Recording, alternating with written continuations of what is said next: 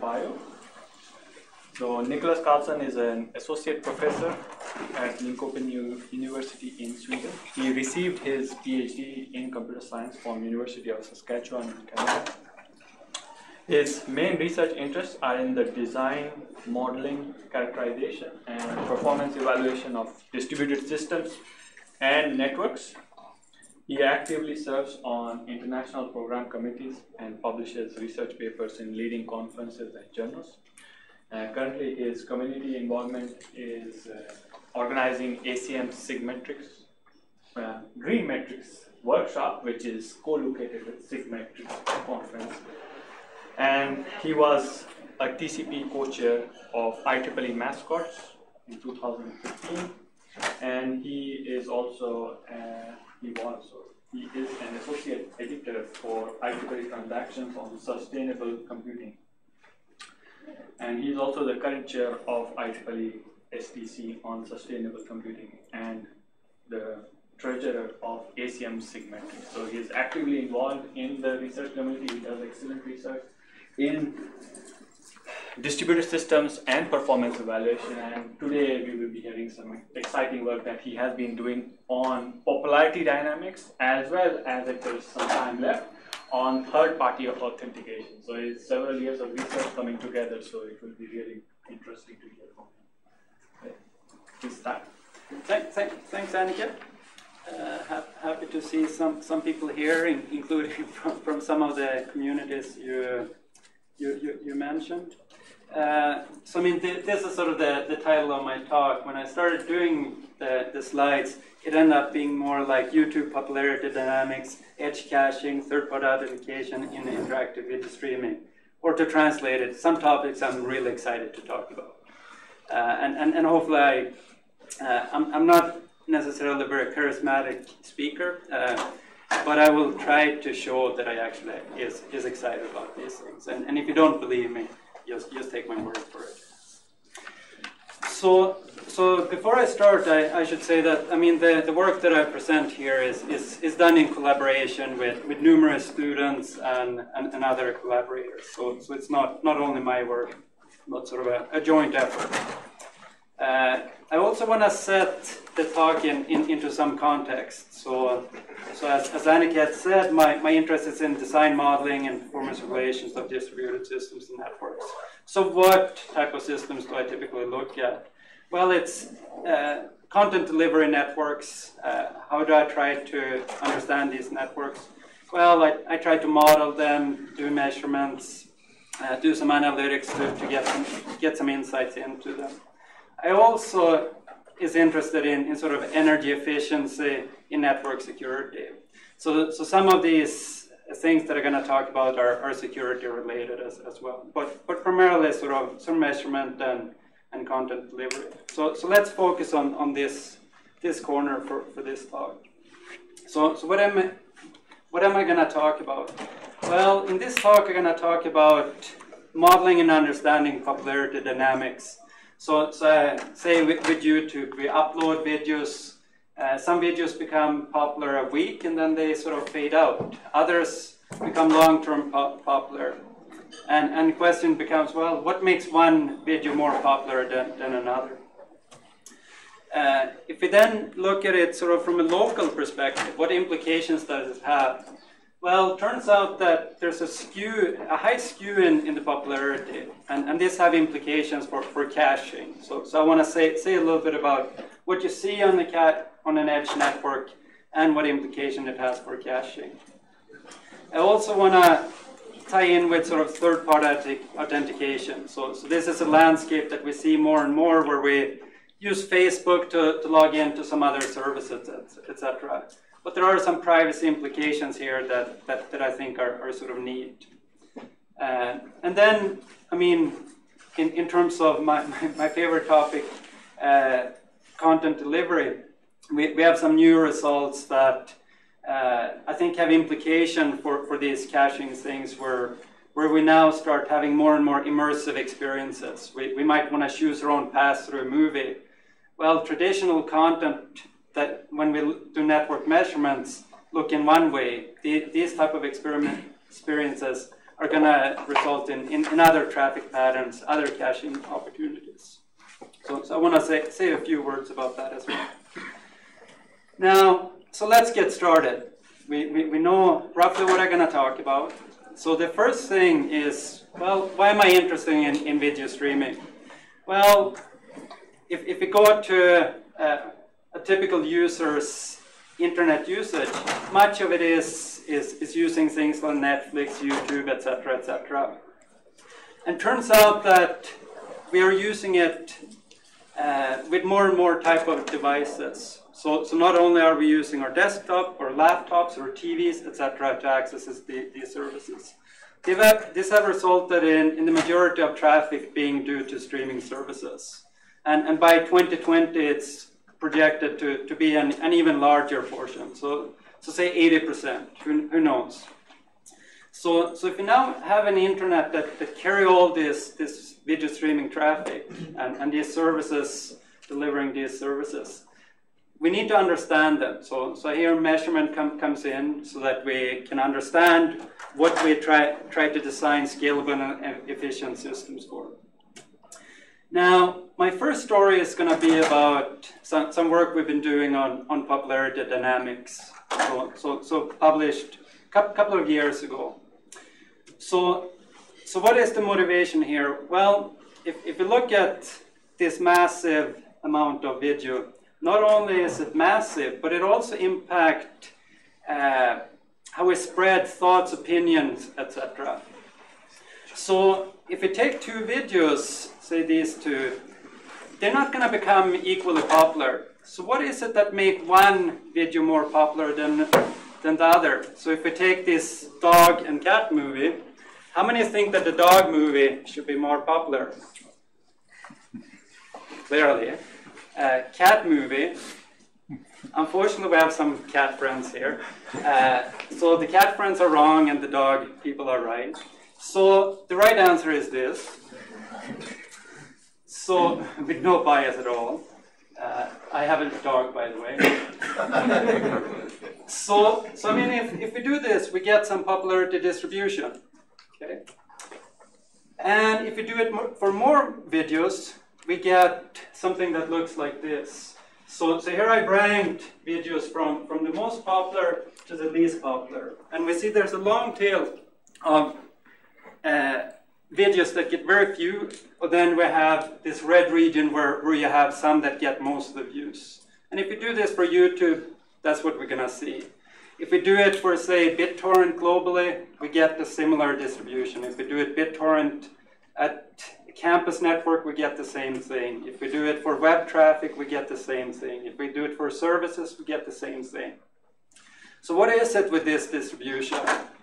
Well, uh, this is actually related, and, and, and Aniket has, has a really nice article that explains so, sort of this, uh, this behavior. So, so, so we see a Zipf distribution. So what is the Zipf distribution? Well, essentially, the, the number of views a video is going to have is going to be proportional to the rank raised to some negative power. And the neat thing with this is if we take the log of both sides, what we get is a linear relationship. So what we end up seeing is something that looks like this. In practice, we don't necessarily always get a straight line. So in practice, we get something that looks like this. So we have some curvature in the beginning and some curvature at the end. So this is the head and the tail of the distribution. The shape of these parts depends varies between services, but also depending on what uh, time span we're measuring things over. So if we take it over a day or, or a week, it might be a very straight line. But if we look over a longer period of time, we get these type of curvatures. And, and part of that is, is due to churn in, in popularity. So, so a video that is most popular now might not be most popular months from now. And, and it also depends on the sampling method. So, so we've done, done various work in this one, in, in this domain. What I want to focus on is, is this lifetime versus current and, and the churn that we see. So, so if we do measurement over, over YouTube and, and, and we look at, say, the total views thus far, turns out that that's a pretty good predictor of what you're going to see in the next week. So, so this is called the rich get richer effect. So essentially, the more videos the more views a video have, the more likely it is to see views the, the following week.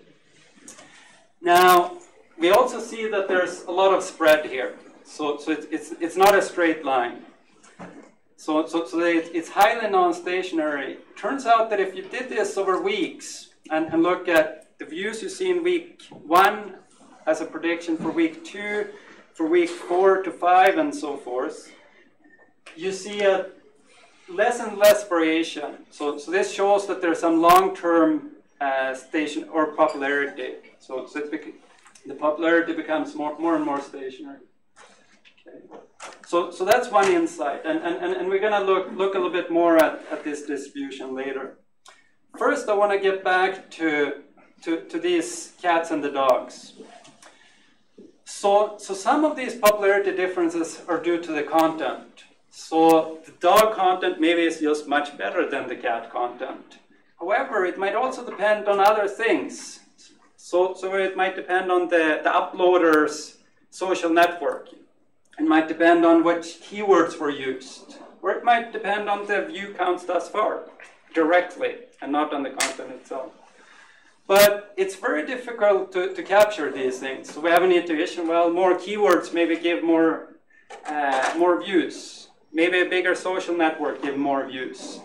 But typically it's very difficult to capture it. And, and most of these works that have been looking at Rich Get Richer completely ignore the, these aspects. So what we did in this work was, was, that we developed and applied a methodology that are able to accurately both assess both quantitatively and qualitatively the impact of various content agnostics factors. Okay? So how did we do that? Well, we went to YouTube, of course, and we watched a lot of YouTube video. And some poor student ended up trying to find videos that look the same. The same video content, the same soundtrack, and if they're identical more or less for the viewer, we call them a clone set. Then we went and, and looked at cat videos, identified a clone set. Now the nice thing with that is that these are, have the same content, so we can actually control for the content and look at these factors that pe people have felt actually are impacting the, the, the, the content, content popularity. Okay, so, so that's the basic idea. Now, how did we do go upon evaluating this? Well, what we wanted to look at, how do various factors impact the current popularity? So the views we're to see the next week. And, and typically, again, what you do is you uh, you take all the videos you have and you do a linear regression. Okay? So you have some factor of interest and look at how it's Im impact on, on the popularity. What we did here to approximate that, well, we focus on the clones and, and we, we, we do a, a linear fitting of this and, and, and that's sort of to match what, what a typical research paper would do.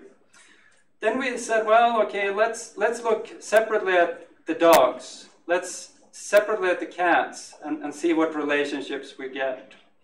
But then we also have to remember that maybe the dogs are just more popular. So they, per time unit, accumulate more as an aggregate than, than the cat movies. Uh, so, so what we can do is we can build a model that take the, the difference into content account. And, and, and that's, I guess, uh, this factor over here. So, so, so now we have a model that can look at all these things, and, and essentially all we needed to do was to do some analysis. We needed to identify these clones. In total, we had 48 clone sets with a, a median of, of about 30 per, per clone set. Okay. And, and then we collected some, some other statistics around these, these clone sets. The interesting thing here is that, I guess here, here's sort of some, some more background. So I mean, we did sort of the standard things with we using various statistical tools, and and we did sensible trans transformation in, in terms of log transformations were very applicable, etc. But having done done that, we, we could now identify well what are the most important factors that matters. Well, even when we count for content popular or differences in content, the total view count still matters the most. And the video age impacts a, a lot when, when accounting for this. Okay. Now, the rich get richer. So again, people have said that well, there's this behavior, this relationship between the, the total views thus far and to the next week. Well, what does it mean, rich get richer? Well, let's look a little bit closer at it. If this alpha value is exactly 1, we have scale-free attachment. So, so let's correspond to essentially, regardless of how much money you have in your bank account, you have the same interest rate.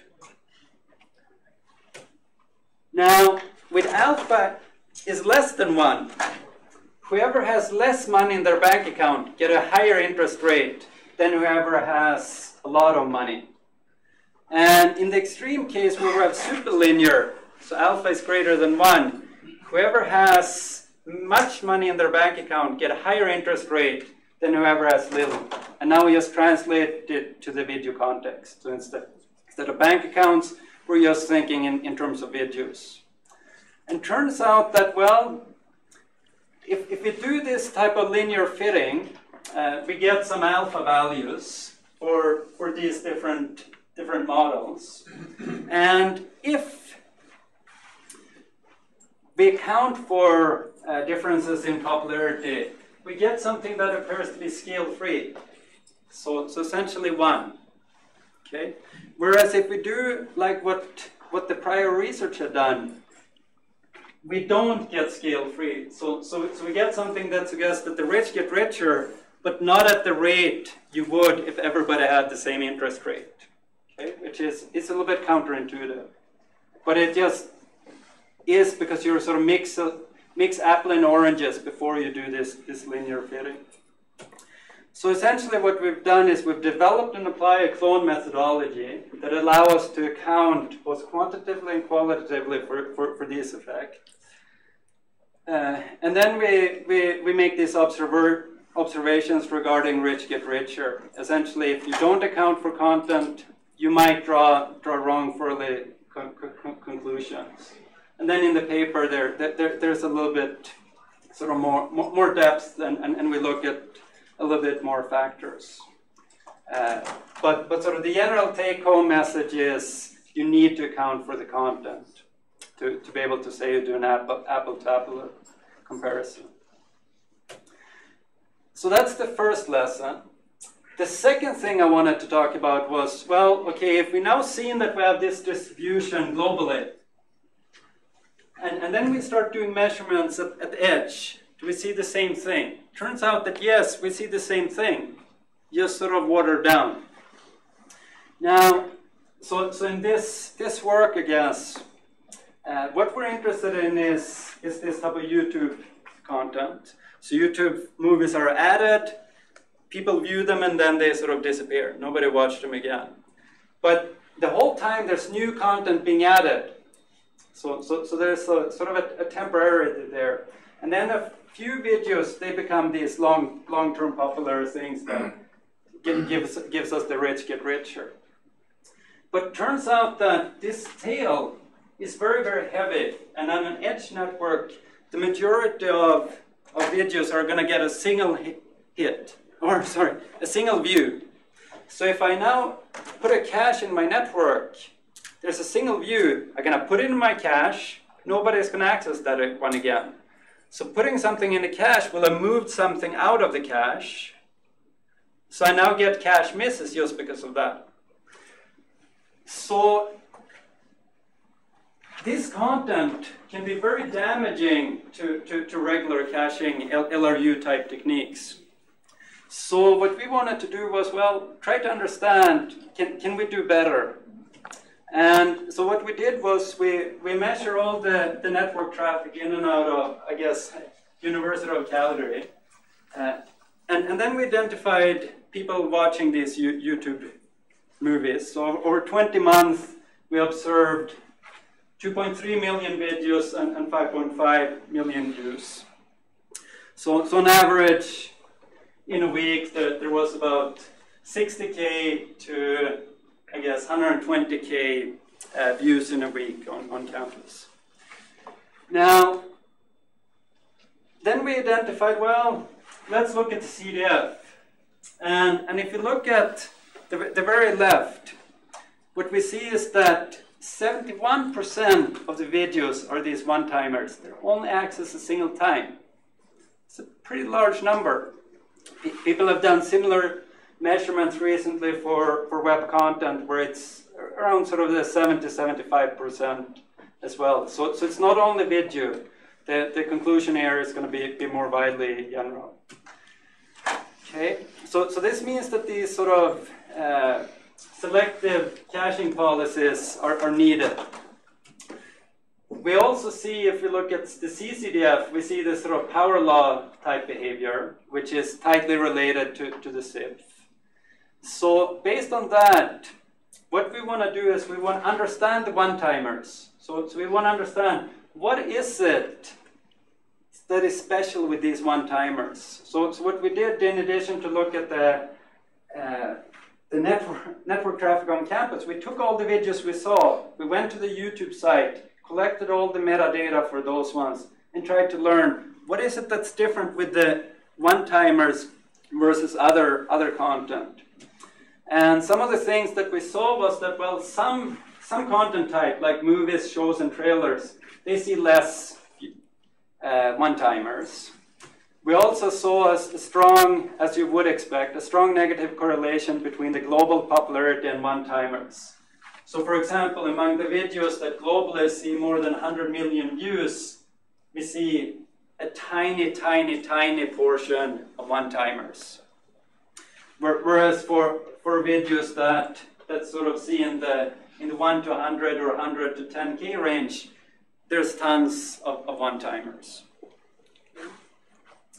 Now, we did sort of model fitting based on different timelines, and, and in all cases we get pr pr pretty good matches.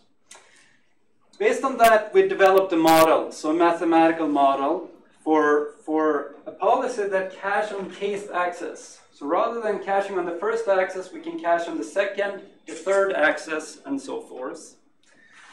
Uh, but how good is that? Well, we need to know maybe cache on the second axis is best, better than cache on first axis, but are there more improvements? So to do that, we consider an oracle policy where we have assume exact knowledge of the number of views, as well as oracle with limited knowledge where we have binary knowledge. Is, is this video going to have more than X or less than X views?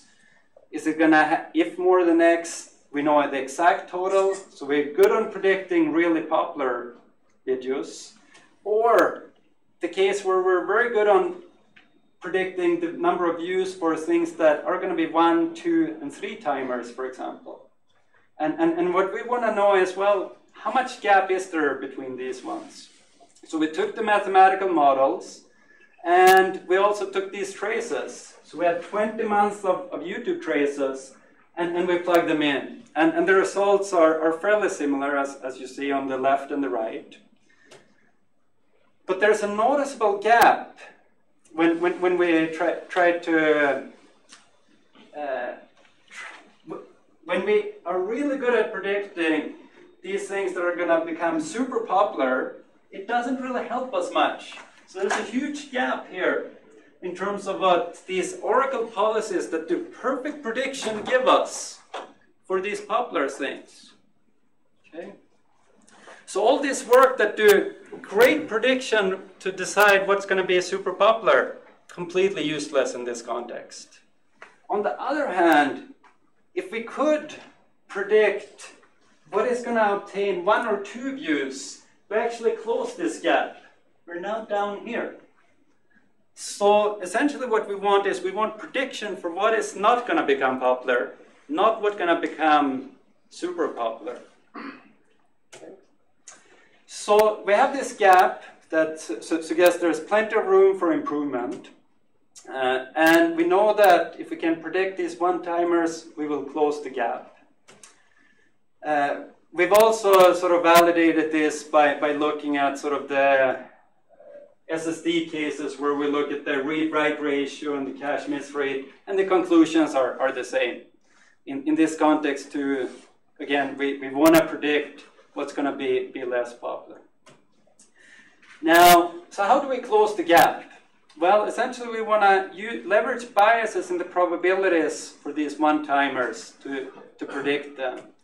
So, so if we look at, uh, in the paper we have many examples, but, but one thing we can look at is, is the inter-request time between, say, the first and the second request, or the first and the third. Okay.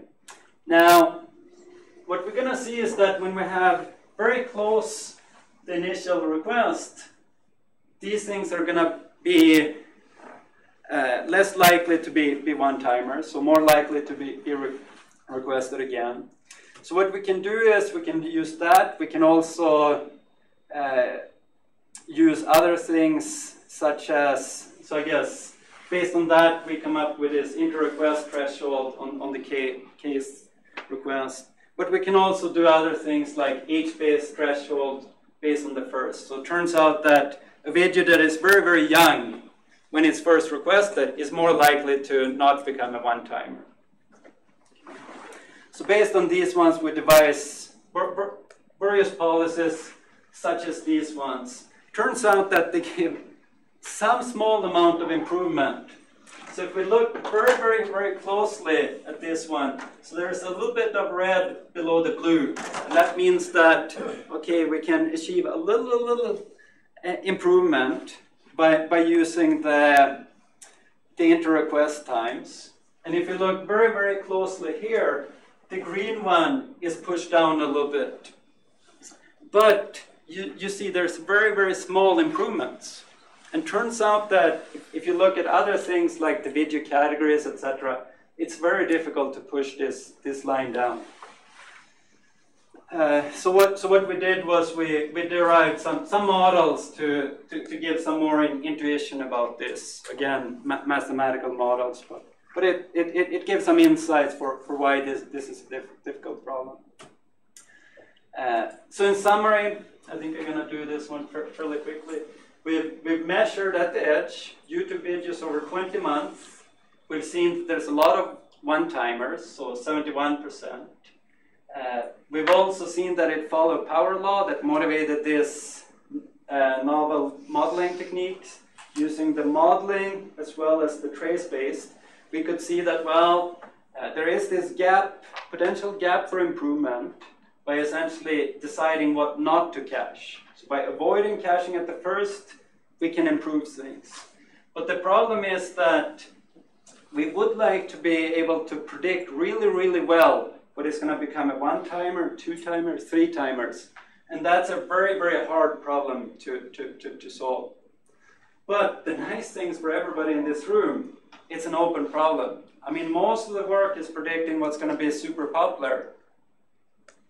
Here, here you have an open problem. It's hard, but there's room, lots of room for improvements. Okay. Now, so, so that hopefully says a little bit about popularity dynamics at the globally as well as in the edge. Now what I want to do is I want to move over to a completely different topic. And, and I'm going to talk about uh, essentially this idea that we use more and more use Facebook, Google, etc. to log in to our favorite services. So what does that mean? Well, in addition to logging in, we can read things from Facebook in, in, in these other pages, but these pages also upload things to, to Facebook, for example. And we're interested in sort of the, the privacy implications that, that have on, on users. So, so what is this landscape? Well, essentially we have identity provider, like Facebook, like Google, that these relying parties use to allow users to, to log in. So we have IDPs, we have RPs. So why do we have that? Well, by not needing as many uh, login accounts, we can hopefully be able to easily authenticate. But the problem is that there's a lot of information leakage between these different sites. So essentially, I, I use my RP, I, I click on my Google thing, I come to Google, I log in. When I log in, I have to do agree on, on some terms. And, and these terms essentially tell me uh, what will be shared between the, these sites. So there's sort of a, a hidden relationship between these sites, or not so hidden. so, so what we wanted to do as well, how does this landscape look, look in general? So, so what we did was we, we took the top million, so Alexa sites, and, and then we knew we couldn't crawl every single one of them. So what we did was we we put this axis on, on log scale, and then we sampled linearly on the log scale.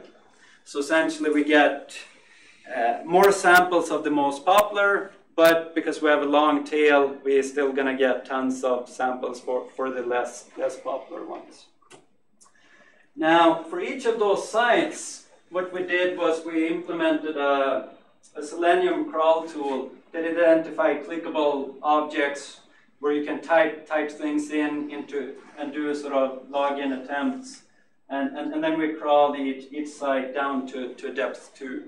And then we identified things like content sharing relationships as well as, as these uh, IDP relationships.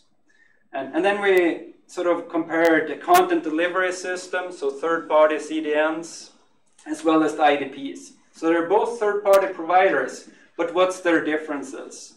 Well, the IDPs are typically much more popular sites like Facebook, Google, whereas the content providers, well, the, these are these Akamai, etc. So that's a fairly obvious thing. Uh, the other big thing is that you end up using much more local services for these IDPs. So these ones are local to North America, these ones are local in China for IDPs. Whereas the content is less, the content is, is less. So we see much more focus to the region you're in. Uh, we also see that which sites are using this. Uh, well, it's news, file sharing, social portal, file sharing, etc.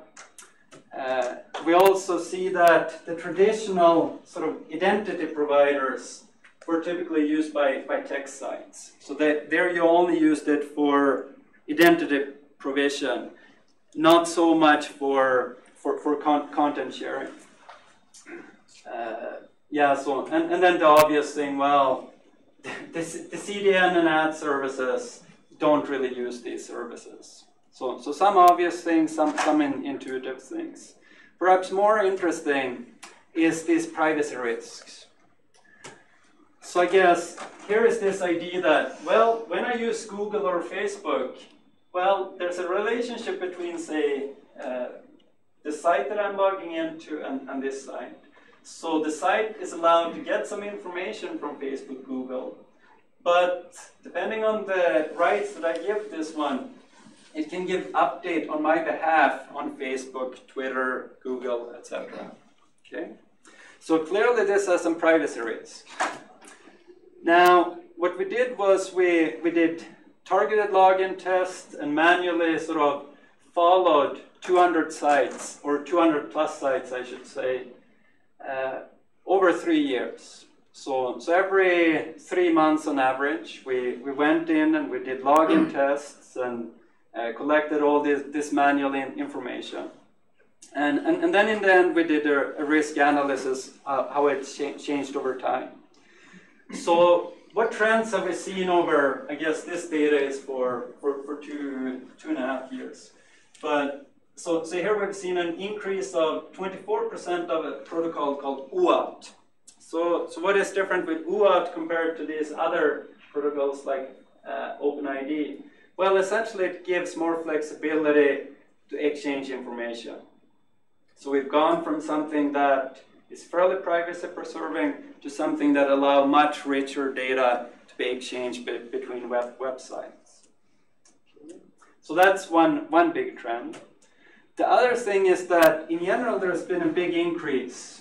So, so I guess here we're looking at a, a three-year data set. So we went from 69 RPs and added another 15.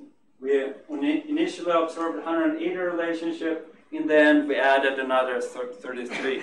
So these things are becoming more and more used. We also see that 75% of the RPs select from the top five. So all the relationships for these RPs are, are in the top five. So who are the top five? Well, the ones you would get Facebook, Twitter, Google, Yahoo, and QQ. Now, in combination, we see many things like Facebook, Twitter, uh, QQ and Sina, Facebook, and, and Google. And why do I put up the, the relationships? Well, one interesting thing is that in some cases, RPs can get information from Facebook and post on Twitter. So if the sites, the rights are set in, in such a way, no problem. Okay? So turns out that in fact among RPs that pick to have at least two IDPs, the fraction of sites with, that allow actions is higher than, than the ones that only have a single site or, or a single IDP. So, so this, this results in, in risk for potential IDP le leakages. So, so essentially, we might get something from Facebook posted on, on Google. Uh, in general, the RPs have, have, implemented these things fairly poorly. In some cases, they allow things, but things just crash. In other things, you have the, this risk of, of information leakages. Uh, in addition to that, we have cases where, where information flow from RP to RP, or where we have nodes that is both an RP and an IDP, and, and, and can hence get information from one place, uh, manipulate it, put it somewhere else, potentially. Now, many of these sites don't, but, but they have the rights to do it. Okay. So so I, th I think I want to say a few, few words about this one. So I guess we have information from one RP that through an IDP can go down to this one. So is this a real problem or is it just an artificial problem? Well, so what we did was we looked at the rights that these RPs have to a common IDP. So in total we observed uh, a whole bunch of RPs using Facebook, uh, Twitter and Google sort of manually. So, so, so we focus on, on the English speaking here. And we identified 645 cases where, where you can leak information this way through Facebook by the actual information flowing that way. 473 uh, about a year later. So why was there a decrease here? Well, during that time span, Facebook improved their, their app rights. They made them more privacy preserving, and it helped. But, but clearly, there, there's still a long, long way to go. But Facebook have taken some initiative. Google, I think, as well, is, is trying to, to sort of dampen the, these possibilities. Uh, so, I mean, at, at a high level, we, we try to characterize this landscape we identify some, some interesting things, uh, mostly related to, to, to pri privacy risks. Uh, and, and sort of the, the info information leakages, the protocol usage, and, and again, uh, by doing it over time, uh, I think we have a, a, sense where things are heading that, that we didn't have when, when, when we started the, the, the project. So, so at least we're more enlightened, and I, I, I hope you, you, you have a, a little bit of a sense for, for, for where this, this landscape is heading now. Uh, I also wanted to say uh, sort of some comments about sort of my uh, my main child right now. Uh, so, so I mean, th this isn't measurement uh, research, but but it is something that I, I think is sort of emerging more, more and more. And, and, and I think it will change what we see in the, in the networks. So it's sort of these more immersive experiences. So, so what, what we're thinking here is essentially, well, everything is getting more and more personalized. So I mean, we're getting personalized search queries, we're getting personalized this, we get personalized that.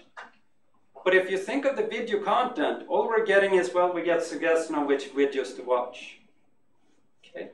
I want to be able to change the content. I want to be able to watch variation of the movie that is personalized for me, not for every single person on earth. Okay? So, but, but this is something that's fairly unexplored. So, so what we did a couple of years ago was we wanted to provide people essentially the following.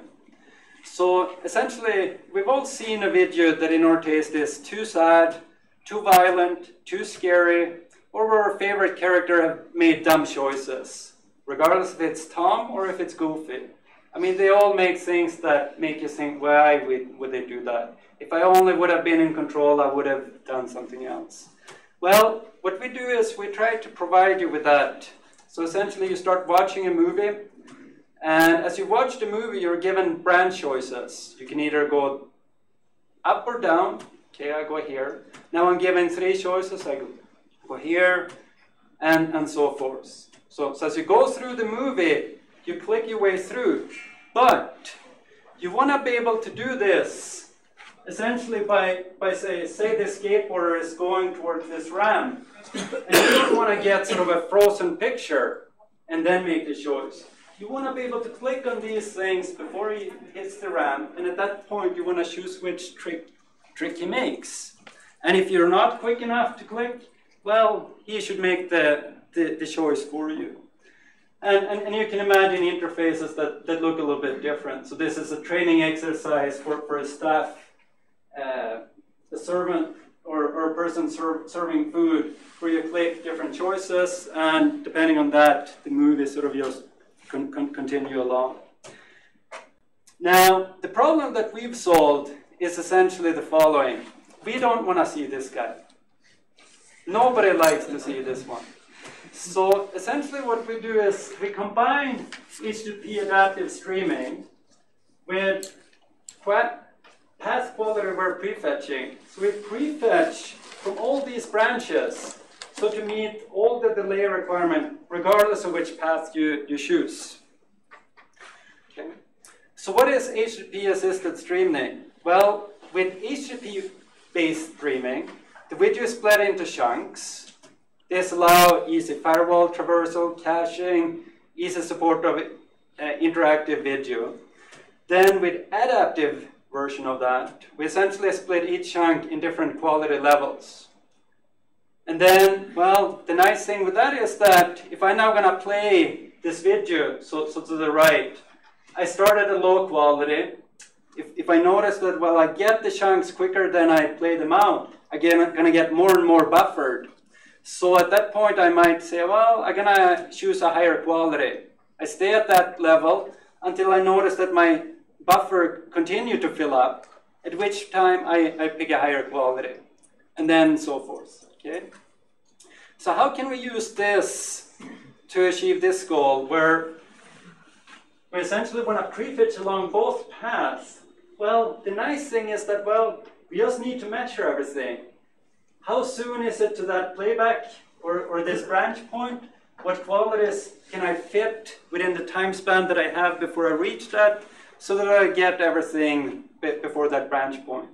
So the essential solution is to combine branch video and HAS. Uh, the goal is to provide seamless playback without these interruptions. So how is the problem really solved? Well, optimization. Okay. So we want to maximize the quality given the playback deadlines and bandwidth conditions. So essentially, we have an op optimization problem where we maximize the playback quality.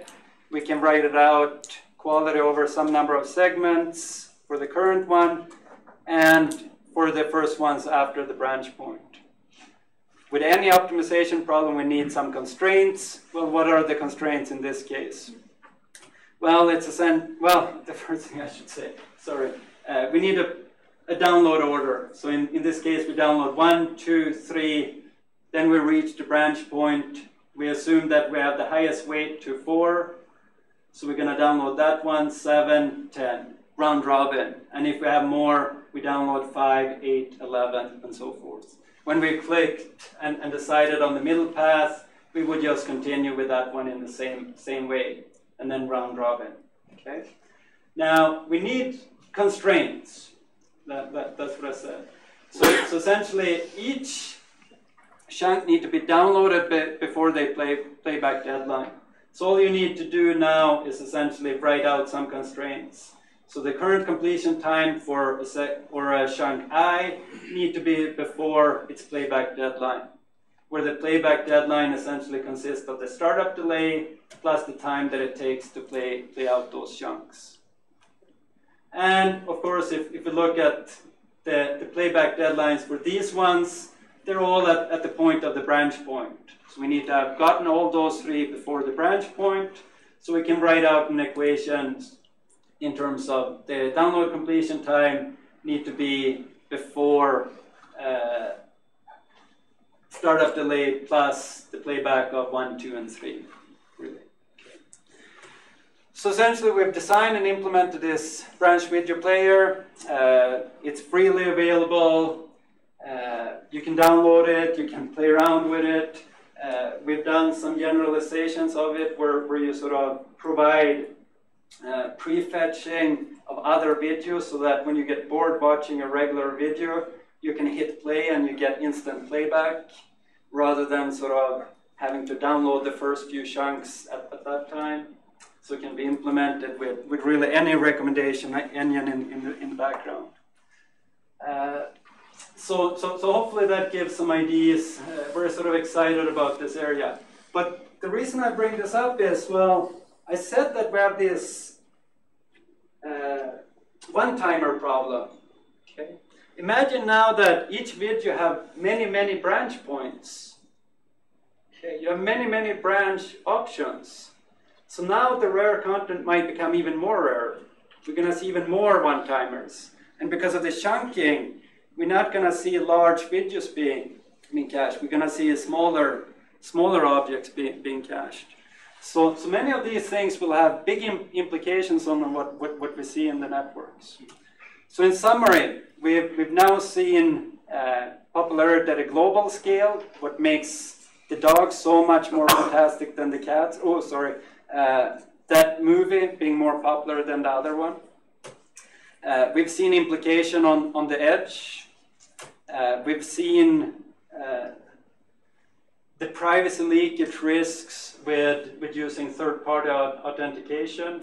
And we've seen some uh, some things that, that I'm very excited about in, in, in terms of branch branch video and, and sort of per personalized experience, video experiences.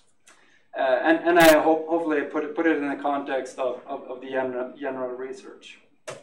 So with that, I want to th thank you all for, for, for listening and uh, ha happy to take uh, quick questions if you have any.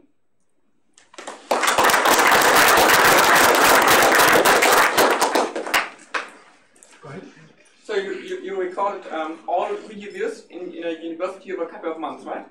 How did you do, do that? Is, isn't the traffic to YouTube encrypted?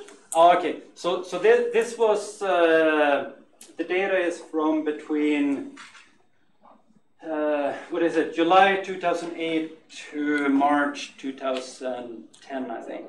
So, so at that time, YouTube didn't, didn't encrypt. So, so, so, so what we did was we, we took all the HTTP requests and sort of stitched them together into sessions and, and identified uh, views. But, but yeah, now uh, it's much, much more difficult. But we, we have re research looking at that.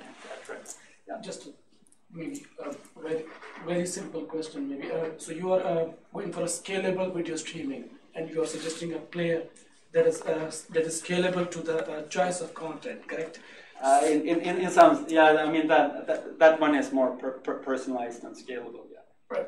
So, so uh, how are you achieving that scalability? Are you opening multiple parallel HTTP connections? oh, okay. Yeah, so, so, so I mean, that, that, that one isn't so much about scalability, but uh, yes, we, we, we, we do op op open mul multiple connections. So, I mean, the optimization problem, that, as I described it, uh, I didn't really say anything about parallel connections, but when, when we consider the case of parallel connection, what, what we do is uh, we make the conservative assumption that if I currently have this bandwidth with a single connection, we say, okay, if I open up two connections, I'm not going to get any more bandwidth. Absolutely. But that one's just going to be split between two. And then I solved the optimization problem for, for that case. Because that's very interesting from a developing world perspective, uh, where you have a very dynamic uh, last mile uh, bandwidth constraints. Yeah. And you need a very scalable, uh, uh, robust video streaming protocols that are adapting their uh, data streaming rates, as you mentioned, 250 and 512, that's what you said. Yeah. Yeah, and, and, and, and I mean, we, we, we do look at parallel connections. One, one thing that we haven't looked at is that, that some video streaming services do and is in terms of if, if you now have chosen too high of a quality, uh, what some streaming services do is they cancel that download and then open up a download for the same chunk at a lower quality. And, and, and, those type of optimizations we, we haven't looked at. This is sort of just uh, using the default uh, of, of, an open source uh, player that uh, for, for, for this, uh, this implementation. But if you're going for a live streaming of your data, then you have the control, right? You are generating the content and you are playing it with your subscribers. Yeah. So then uh, you can make it scalable according to the network conditions at the time you selected those data I suppose, yeah. Yeah. So I mean, here, here, here we're looking at uh, video on demand only. Yeah. Do we have a question about that? Yeah. Uh, yes, uh, I have one question about your first part.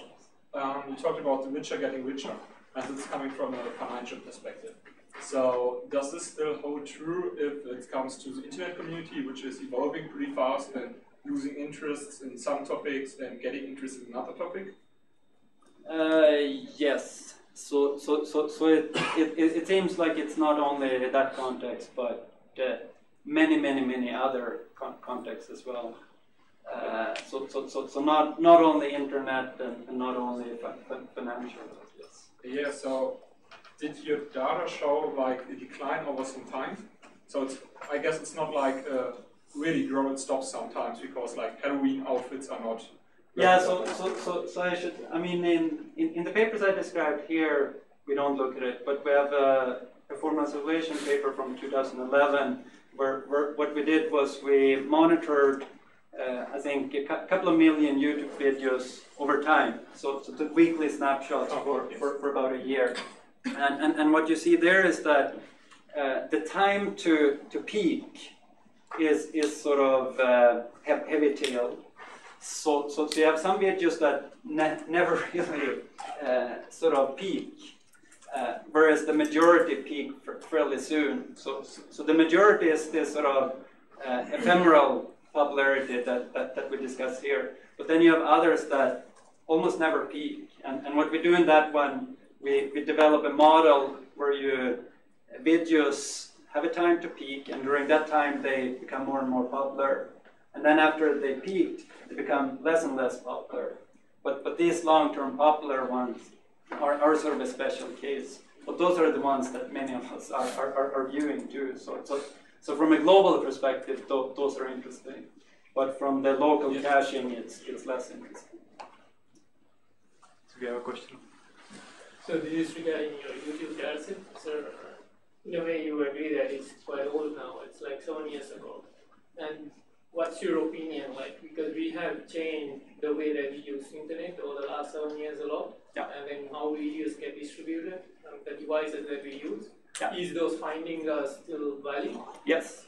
You think so? Yeah. So so so so so I mean. Uh, uh, the, the, the, the one-timer phenomenon uh, uh, so Akamai people had a had a paper in CCR 2015 and, and, and again one in eEnergy 2016 where, where they look at the access to, to the web content and it followed the same distribution.